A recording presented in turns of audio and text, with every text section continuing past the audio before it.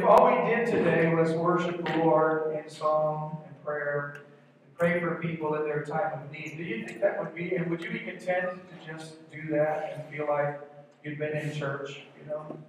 Uh, because sometimes we make it about the message, get through the program, and then we go home. We got this whole program. But I want to remind us that we're here and we're at His disposal. He's not just at our disposal. We're here for Him. So whatever needs to be done, we want Him to lead us in what's the most important thing to do. And God cares about how we care for one another. Can I get an amen? God, God cares about how we treat one another. Amen. In the body of Christ. Just like He cares for the way we treat people in our home. Just like He cares for the way we treat people on the job. Amen. In society and culture. God cares about that. So the Word is good. We need the Word. We need the Word all the time. And you're not going to get out of the message, by the way, while I'm saying this. So just, just so you know. I feel like I have a word that I have to share with you today. It's a very difficult word for me. Like I said, when you preach through a book, you can't ignore the difficult passages. And this is the first time I've ever attempted to preach on something like this. But I do believe God has a word for us. I want to tell you, in my heart, I feel like God has a word for us in His Word. But I want you to know that that's important, but also what's important is that we take time to pray for people. We take time to respond to one another seek the Lord and uh, love one another corporately and individually. That's okay with you, right? Good, because you are the body of Christ, right? We are members of the body, this glorious kingdom, this glorious church, and uh, He cares about the way we care about one another. So today I'm going to ask you to, uh, uh, if you look at your Bible quickly at Ephesians, the fourth chapter, verses 14 and 15, I just want to refer to this. Then we're going to go all the way back up to chapter 6, because I'm going to need some spiritual maturity today. from you and from me. I'm going to need some real spiritual maturity, the kind that says, like Paul talked about in Ephesians 4 14 and 15, it's not on the screen, I'm just referring to it. Then we will no longer be infants tossed back and forth by the waves and blown here and there by every wind of teaching, and by the cunning and craftiness by people and their deceitful scheming. Instead, speaking the truth in love, we will grow to become in every respect the mature body of Him who is the head, that is Christ. So I'm asking you today to hear with your spirit, hear what the Word is saying, and process that through the eyes, the attitude, the mind of Christ, which we can have through the Spirit. And I want us to pray this prayer of enlightenment together again, because we need the Holy Spirit to help us. It's Ephesians, the first chapter, verses 17 through 19. Would you pray that with me with all your heart? We keep asking that the God of our Lord Jesus Christ, the glorious Father, may give us the spirit of wisdom and revelation so that we may know Him better. We pray that the eyes of our heart may be enlightened in order that we may know the hope to which He has called us the riches of his glorious inheritance in his holy people, and his incomparably great power for us who believe. Can you say amen? And Lord, our words on earth, may they become true in heaven. That's what we certainly need. So, so far in Ephesians, the whole idea, the main themes of this book is who we are in Christ. When we come to Christ, we're forgiven, we're chosen, we're redeemed. We're adopted into the family of God. We're sealed by the Holy Spirit. We're united in one body with every other blood bought believer across the world and across the ages, right? Uh, and then it talks about how who we are affects the way we behave. Because you say you believe something so true, but you don't act it out, you don't act on it, do you really believe it, right? So if we say we know who we are in Christ, then we also have to obey. We, we know that it will transform the way we live, right? As Christians, we're supposed in the body of Christ, we're supposed to keep the unity of the faith. Remember that passage? We're supposed to build one another up with our words and with our actions. We're supposed to speak the truth, but do it in love. We're supposed to care one for another and not just take care of ourselves. As Christian husbands and wives, we're supposed to practice mutual submission, love, and respect all the way around. As Christian parents and children, we are to obey, to respect, to nurture, and to train. Why? Because that's who we are in Christ. It's different from the way we used to be. It's different from the patterns of this world. This is who we are, and if we are who we say we are, we will do what comes with our identity. Amen. And now today, we're going to talk about that, that, that, that how our Christianity transforms us so completely that it would even affect the relationship between masters and slaves. Yep. Ephesians, the sixth chapter, verses 5 through 9. Let's read it together. We just finished about parents and children and husbands and wives. Now we're going to talk about another component of the Greco Roman household of that day. It says, verse 5 Slaves, obey your earthly masters with respect and fear and with sincerity of heart, just as you would obey Christ. Obey them not only to win their favor when their eye is on you, but as slaves of Christ doing the will of God from your heart. Serve wholeheartedly as if you were serving the Lord, not people, because you know that the Lord will reward each one for whatever good they do, whether they are slave or free.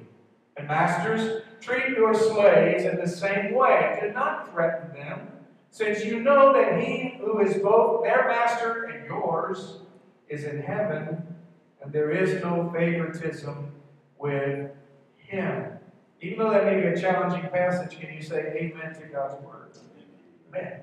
So, we're talking about, uh, in those passages 5 and 6, what many have called the house commands, or the way a Christian household should be ordered right? Got my husbands and wives, parents and children, masters, slaves, bond servants. These are all house commands. And I we and if you do a little bit of looking into it, Paul did this also in the book of Colossians. He did this when he wrote Timothy. He, he did it in several places, talked about the relationships in the home and how they reflected the nature of Christ in the godless, Christless culture of their day. You, why did Paul feel the need to address these household relationships as a part of his teaching about our identity in Christ and our unity in the Spirit? Believe it or not, Christianity was accused in Roman society, the Greco Roman culture of the world, of being, first of all, atheistic. They said these Christians, they're atheists because they only believe in one God and they don't have any idols. They said there's only one God and we can't make an idol to him. We're supposed to serve him. That's it. And so they reject all the pantheons of the gods in the world. And so they were actually accused of being atheists, which to the Greco-Roman mind was just, well, it's just immoral. If you don't believe in any God, if you don't believe in, in the gods that we believe in, it's unreasonable because it's just the way things are. Can you imagine Christianity being accused of being? But it was. It was also accused of being anarchistic. They talked about Christ above Caesar. They said Jesus is more important than Caesar. Jesus is more important than governors and sheriffs and whoever else. And they thought that meant they wanted to bring down the government, which is not true at all, but that's the accusation that was made. Their rabid devotion to Christ above the state made them think that they were trying to tear down the state Christianity was not trying to tear down the state, it was trying to show the state a better way to live. A better kingdom, a kingdom that exists above all other governments. But they were accused of being anarchistic. Another one is uh, the, the Roman culture uh, accused Christians of being immoral. you know why? Because they talk so much about love.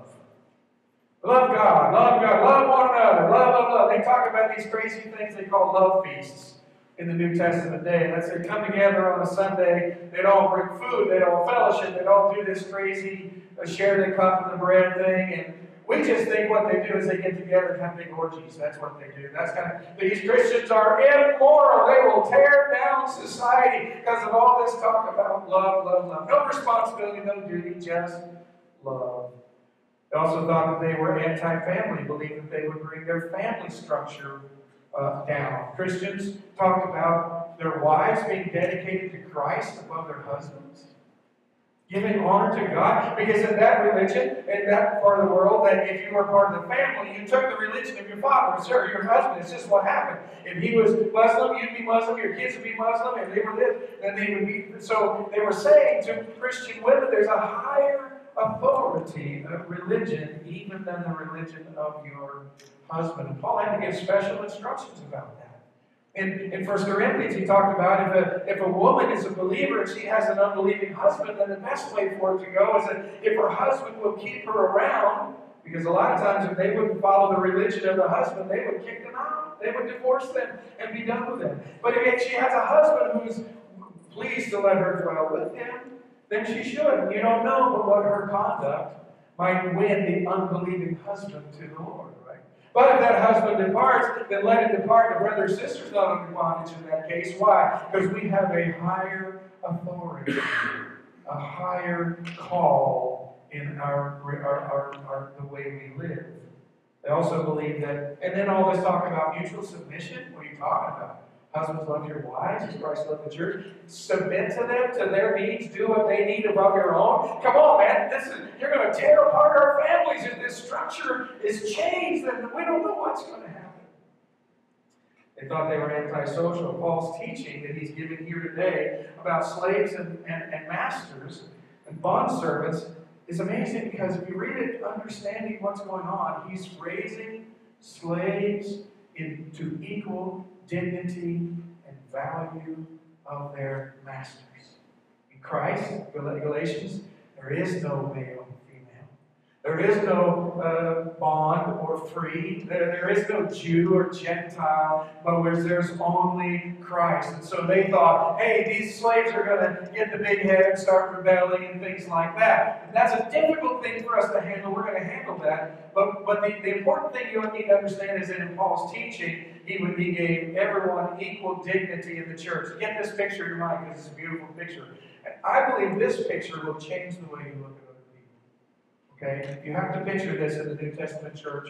When they get together on the, on the first day of the week, on Sunday, and they bring their meal together, right? Everybody brings what they can.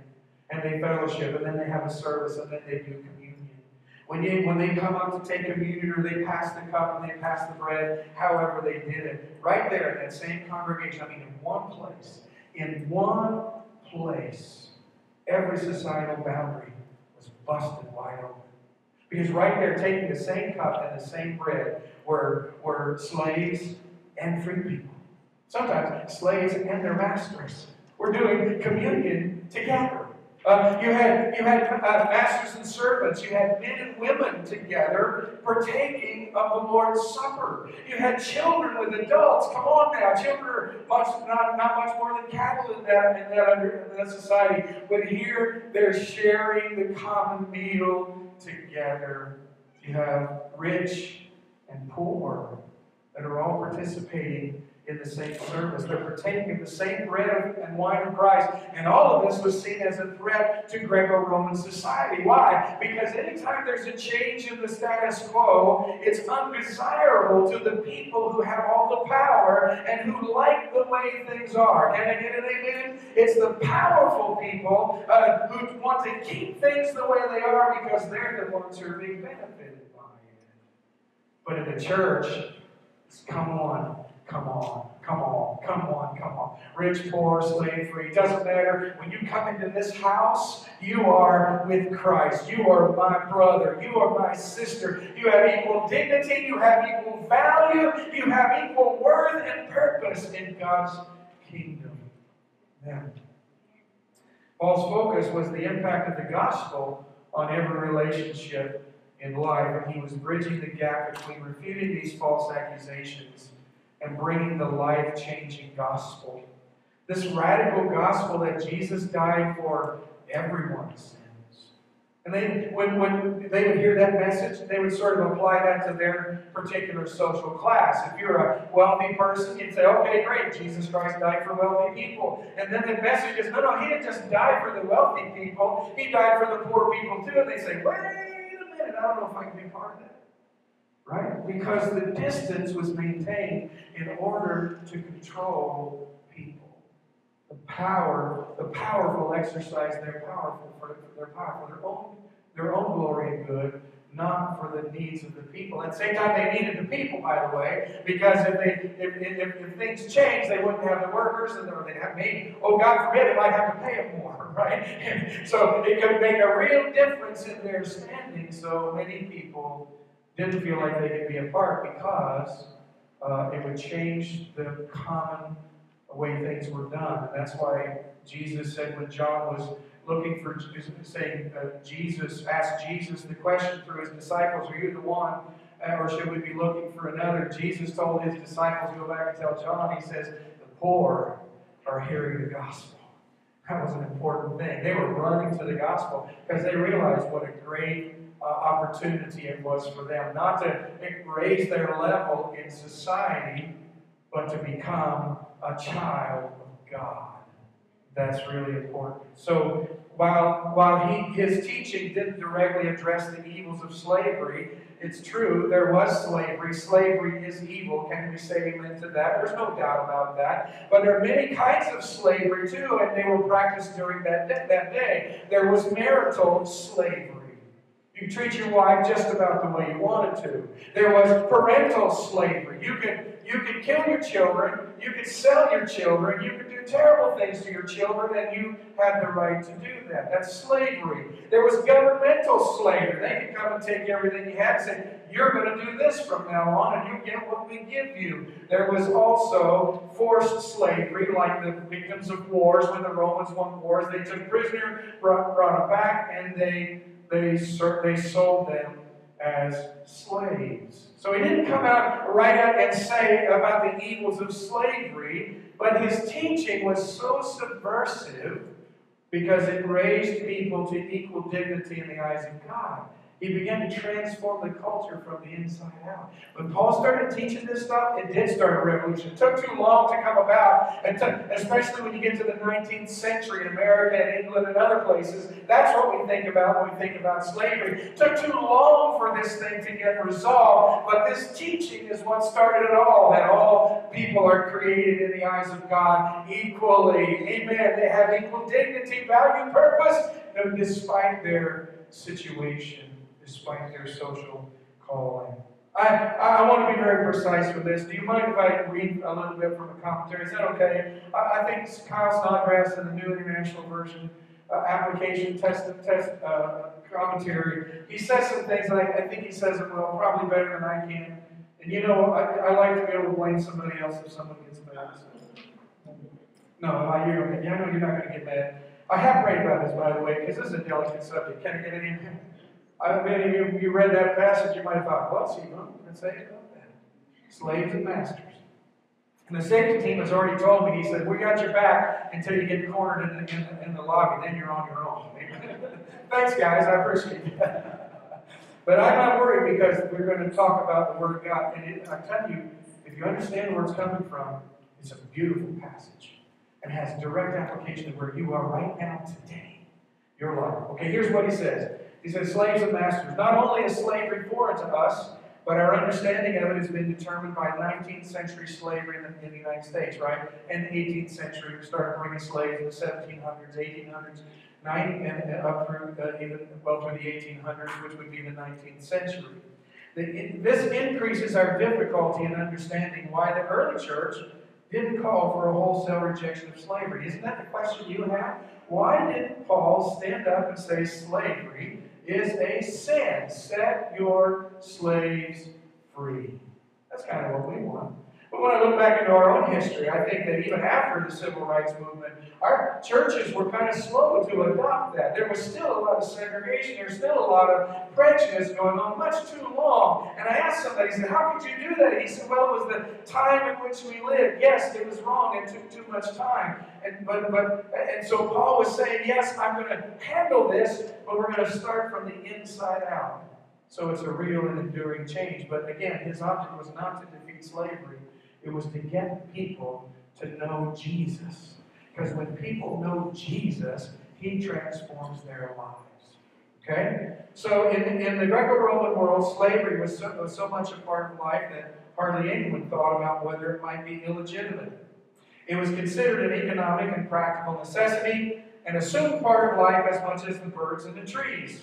Scholars are reluctant to hazard estimates about the numbers of slaves, but as many as one third of the people in Greece and Rome were slaves. Now get that in your mind. As many as one third of the entire population of Greece and Rome were living in some form of slavery. All right? In addressing them, Paul was addressing an enormous number of people. Think about that one third of the population. People became slaves through various avenues. Here's how they became slaves birth. You were born to slave parents, you were a slave. You belonged to their owner. Parental selling.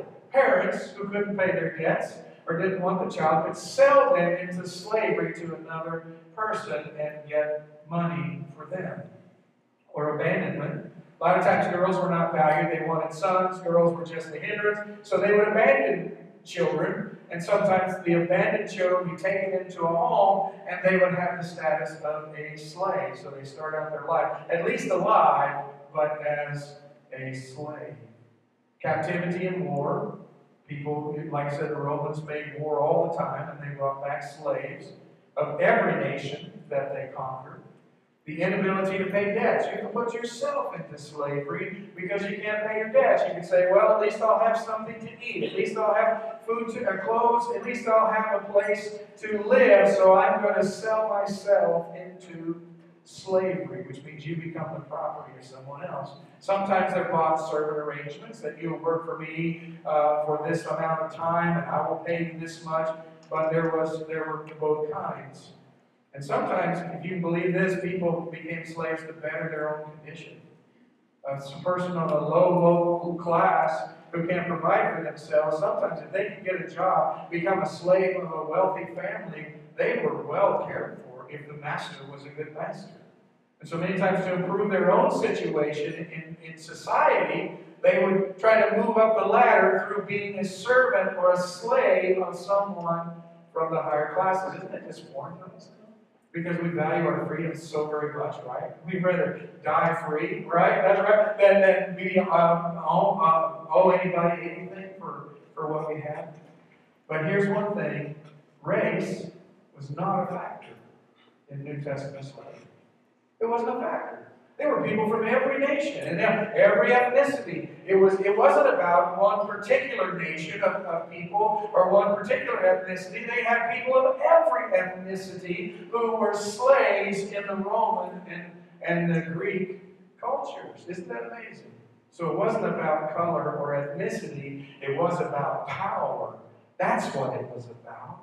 And it affected people of every conquered nation and every social strata except for the highest. No doubt many slaves, the life of many slaves' life was harsh and cruel, but their circumstances depended on their owners. They didn't do merely menial work, they did nearly all the work, including oversight and management in most professions.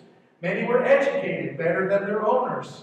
They could own property. Some slaves could even own other slaves and were allowed to save money to buy their freedom. No slave class existed, for slaves were present in all but the highest economic and social strata. Many gained freedom by the age 30, especially in urban areas, but even after gaining freedom, they were still under obligation to their former owners in times of need. So you always had that connection. Remember, these are house commands. It was just a part of the Greco-Roman household. I'm not saying it's right, it's the way it was, and Paul was preaching the gospel into that environment and brought about some astounding changes. There were slaves that there were laws that tried to protect slaves, but essentially a slave owner could do whatever he wanted to his slave.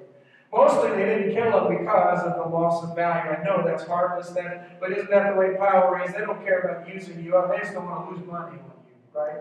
And so they wouldn't kill them because they would represent a loss of value. They couldn't sell it, couldn't do what else, do anything else. But I mean, the, the threat and violence were assumed necessary to control slaves. And the Jewish framework, is interesting. They, could, they couldn't have their own people. Jews couldn't own Jews in permanent slavery. They could take them in bond servitude.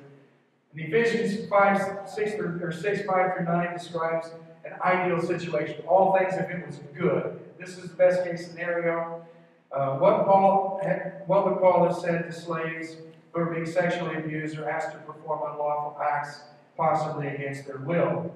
A glimpse into the difficulties provided in 1 Peter 2 18 through 25, in which he instructs slaves to submit even to harsh masters and hold on to their convictions even when they suffered unjustly. These Christians, now get this, here's where he's coming from. These Christians were, were called to take their identity from Christ no matter, uh, regardless of their circumstances. So revolt was out of the question, but their lives were to be a quiet protest and a witness to a higher calling. For the early church, to advocate revolt would have been the death of the Christian movement. Could you see that? They just set them all free, then Christianity's wiped out, not because it's a bad religion, but because it's antisocial and, and they're just not going to have it, right? Slavery and other social issues were not their focus. Gospel and its descriptions of life were. You get that? We have to get that in our mind. It was about the gospel. This was about Jesus. This was about who Jesus is and what he does to a person from the inside out, right? But uh, the uh, but as they represented life in Christ, they put in motion a process that would eventually destroy slavery. This forces us to question whether well, we, I want to I'll skip some of that, but really good. The attitudes of the people. He says here briefly. Let me just sort of summarize that. Of reading.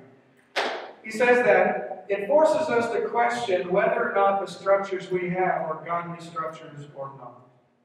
You know, I thank God for capitalism. Don't you thank God for capitalism? But can I tell you that, God, that capitalism is not an essentially holy way of life? It's not. Capitalism is based on consumerism, and that's a little bit different, but greed, getting, and receiving, right? So when the Berlin, where the Berlin Wall came down, I remember standing there a couple years later. We were on a mission trip with our bishop over there, Clayton Endicott Sr., and he, we did a little devotion there, a portion of the wall was still standing, and he said that, listen, you need to understand that even democracy is not an essentially godly form of government. Why? Because it's based on fallible human beings. So all there is no perfect government in theology for all that we would like for to be in theology. It's not that perfect either because it's it's operated by fallible humans and our feelings and our emotions and our desires and our sins always get in the way. So we should stop looking at government as something that's more that, that's going to do the work of the church. It never will. Do you hear what I'm saying? Don't depend on government to do the work that God has given to the church don't focus so much on a form of government that we lose the sight that we're the ones who are to be the change agents, and that comes from the inside. So while communism, the, the, while the, the Iron Curtain was shut to most of the Western world, did you know that in countries like East Germany, Christianity thrived because of what was happening on the inside? The curtain came down, and we saw, you know what? Christianity was never eradicated. In China, there were more Christians in China than any other country in the world. Can you say praise the Lord? And Christianity is illegal. And many of those people are slaves today to their government, but they're believers and God is doing amazing things in their country. Does that help put things in perspective? Just a little bit. Slavery is equal. As a church, and the church should stand for those who can't stand for themselves. Can I get an amen on that? We should be calling out sin. We should be. But we should do it from a position that we're trying to get people saved because they need more than just freedom from slavery. They need freedom from sin. Somebody say amen. They need a purpose. They need Jesus. And when you give them Jesus, it doesn't matter what their circumstance, they can serve Him and do great things because God is using them to make important transformations. Amen. Praise the Lord. I don't want to stop there with that.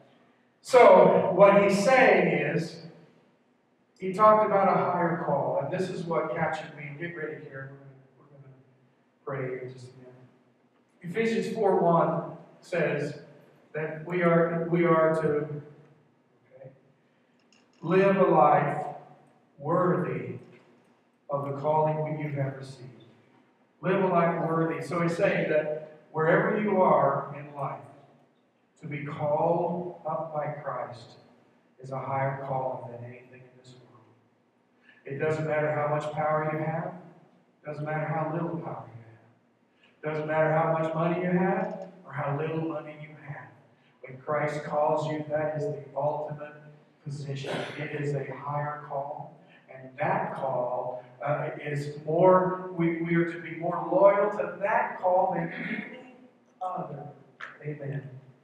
Um, I, have to read this passage, sorry. I, look, I want you to look with me really quickly because Paul addresses this in 1 Corinthians 7, 17 through 14. Would you look at that with me because this is, this is really important. Paul is addressing this issue about change of status and coming to Christ. And I want you to see this.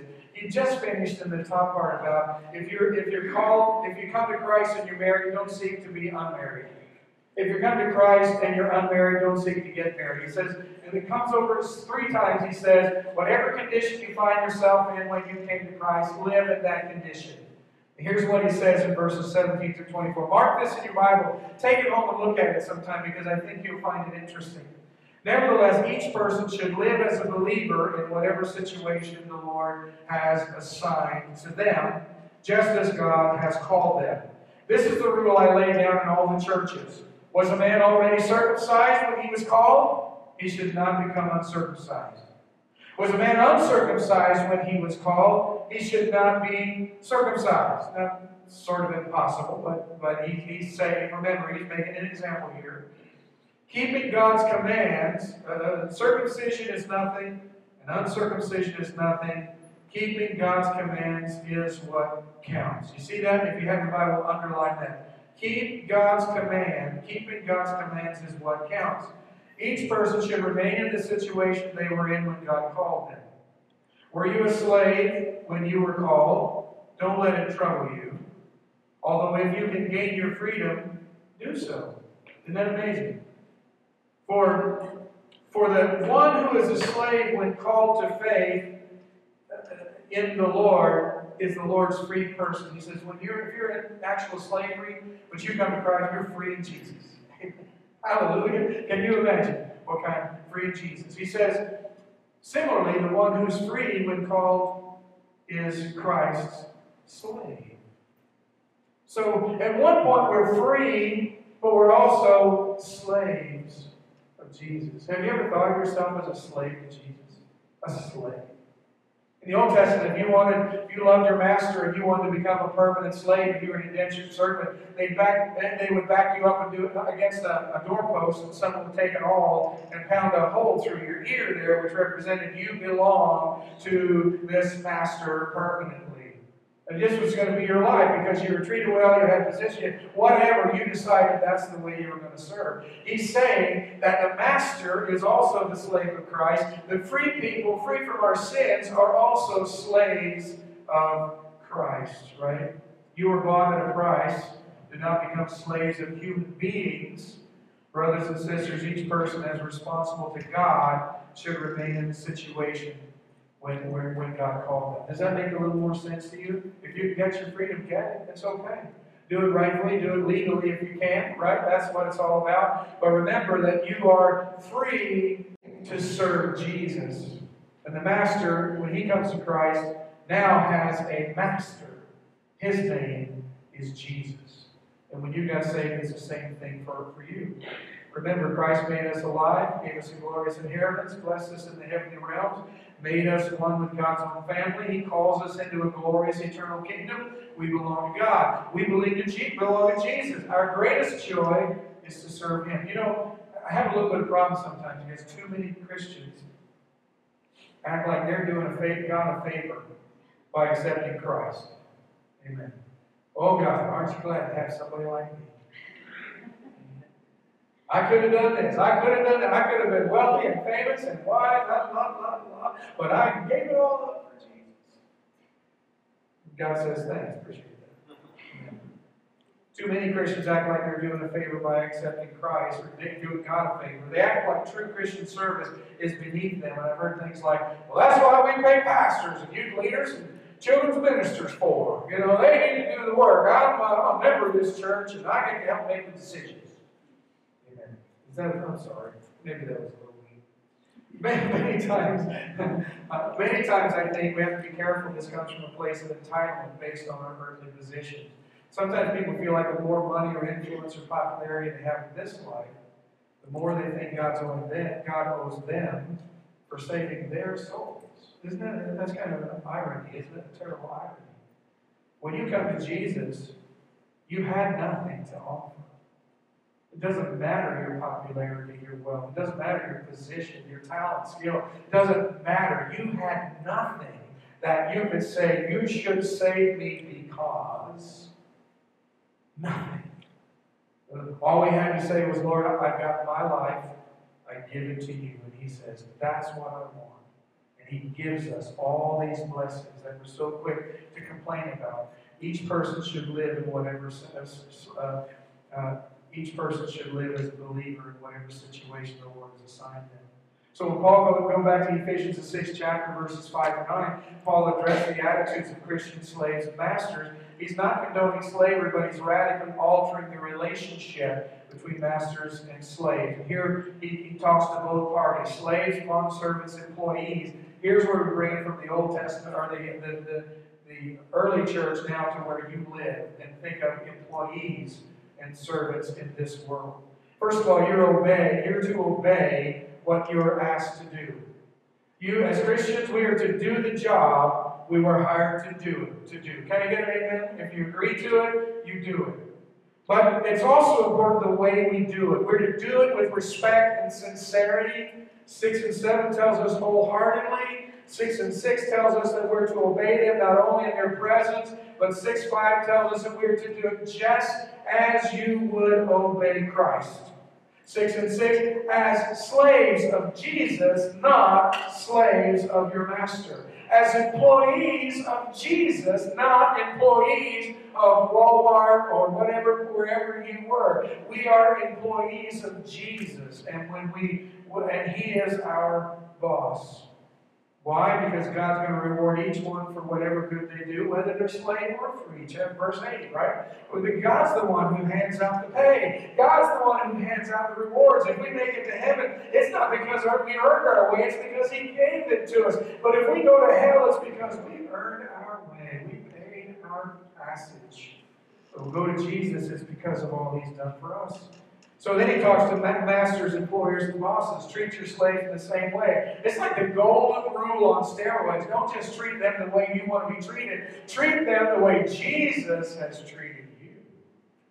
So therefore, serve them the same way. Treat them with dignity and respect. Treat them, uh, uh, uh um, do not threaten them because you're both slaves to the same master. You both work for the same boss.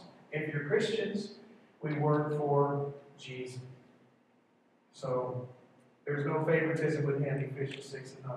I love this. Master servants are husbands and wives, children, parents, employers, employees, rich, poor, popular, ordinary, black and white, young or old, Catholic, charismatic, Baptist, Pentecostal, or Baptist-Costal. We are all the same in the eyes of God. Somebody ought to say amen right Amen. So the question I just have for you is a quick question, and we don't have time to go any much longer on this. But would you ask yourself this question? If I took seriously Paul's teaching that I'm a slave of Jesus, what would that look like in your life? When you go home today and you you are with your family, you're out in a restaurant, whatever. You go to work tomorrow morning or later tonight, if that's what it is. What would your, how might your life change if you said, you know what? I'm really, everything I'm doing, I'm doing for Jesus. He's my boss. He's the one I want to please. He's my Savior. He's my King. And I'm glad to be in His house. I'm a member of His family. I'm glad to be sealed by His Spirit. I've got His authority. I've got so much in Him that everything I do is uh, as his servant, to serve, not to rule. How would you address your spouse differently? If you were truly a servant, acted like, believed, and lived like a servant, an exclusive servant to Jesus Christ. How would we address our employers, our teachers, our managers, our parents differently? How would we address our employees, our students, our children differently? We realize that when we treat the way we treat them is the way we are treating Jesus Christ. The way we're serving them is the way we are serving Jesus Christ. Because He's the one. He's the one that doles out the rewards. He's the one who gives us everything we have. So we can do it His way, not the way the world says we should do it. Right? How would you view your work, your study, your chores differently? If you said, I'm doing this for Jesus. Amen. He's here. Look, Jesus, I'm going to do this. I'm going to do my best because I know I'm doing it for you, not just for an earthly boss and not just for a paycheck. Amen. Think about that. Yeah. So, uh, and then how would we view our co-workers differently?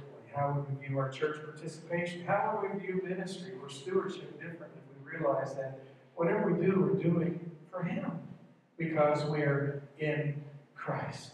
And that's the most important relationship of all. I want to tell you two things here as we get ready quick. Here, here's what I think this means for us today. I thank God for this because I, I feel like this really encapsulates what I, Paul was, was trying to say. First thing is, you matter. You matter. I, I really, I know we do this a lot, but I want you to, some people just need to hear this from somebody else. Would you look at somebody else in this congregation and, you know, point nicely if you have to, so I know you're talking to them, and just tell them with all the love in your heart, you matter. Come on, everybody tell somebody, you matter. You, you matter. You, you're not insignificant. You're not unnecessary. You matter. You are so important to God and to other people in the church, to your families, to your job. You matter. It doesn't matter. Anything else doesn't matter. You matter. And it's not based on your situation in the world, your class, your ethnicity, your geography, your age, your physical condition, your job, your history, your wealth and poverty. You matter to God no matter what you have done, where you have been, or what others have done to you. You. You have value. You have dignity. And He proved it when He died on the cross for all of us. So all have equal dignity and value in the eyes of God. You matter. I want you to get that. I want you to live like that. You're important. You matter. Doesn't matter what anybody says about you. You matter. You're valuable, so valuable that Jesus would die for you and die for. Matter. Amen. I remember the old church in the Sunday school office, they had this picture of this little little little child who had his tail he'd been crying, had his arms like this, his head was down. He says, I know I'm something because God don't make no junk. Amen. You matter because you were created by your loving Heavenly Father. And as servants of Christ, you matter to your family more than you can. You matter to the people on your job, your bosses, this community, this state, this country, this nation, this world. You matter because you're a servant of Christ. If you get that, then everything you do changes because now it matters too. you matter. The second thing is what you do matters. Amen. What you do matters. It matters to God, it matters to others. And the way you do it matters as well, right? That, the way you do relationships, your work, your relationship matters to God and others as well. As slaves of Christ, we belong to Him and we serve Him. Now, all of our work takes on new meaning. And we, we will treat people, uh, and, and, and the way we treat people changes as well. The way we treat people changes as well. Work's going to be done with care. Not just to get by. You're not going to hide out in the warehouse and brag about how you took a half hour nap when the boss, wasn't, wasn't watching. You're going to do your best. You're going to do it with integrity. You're going to live that way. Why? Because you're living for Christ. You're not living for that job, that company, or that whatever it is. You're living for Jesus. Amen. Amen. As you are now, you're not serving food or your boss or your customers. You're serving Christ as you serve food, your boss, or customers. Amen. Nobody in this world can we treat as unimportant. You'll never lock eyes on a person who doesn't matter to God. When you look in the mirror, remember that. I matter. God cares. And when you see somebody else, you need to have that attitude well. They matter. matter. They're important. I can't dare treat them like they don't matter, even if I disagree with their lifestyle, disagree with their politics, disagree with whatever. We've got to say they matter too. Amen. Would you stand with me today? And I want us to pray a simple prayer. Amen. I know this is a difficult subject. If you want to talk more about it, you want to ask me about my, my views on this, my scriptural understanding, I encourage you to email me, talk to me, because this is an important topic today in our, our society. Amen? Some people wouldn't like this, but I think a lot of people, a lot of Christians would have to say, yeah, I think that's right. We all, we, that I matter, you matter. God's called us to a higher call. So I want us to pray that prayer. Lord, help me live worthy of the call I have in you. Help me to live worthy of the call that you've placed on my life. I matter, what I do matters. Help me to live up to that calling by the help of the Holy Spirit. Would you begin to pray right now? Father, in the name of Jesus, we ask that you. Hello, I'm Pastor John with Prairie Center Church of God of Prophecy. I pray that this message will instruct your mind and inflame your heart and influence your will along with us to love God, care for one another, and serve the world in Jesus' name. Thank you.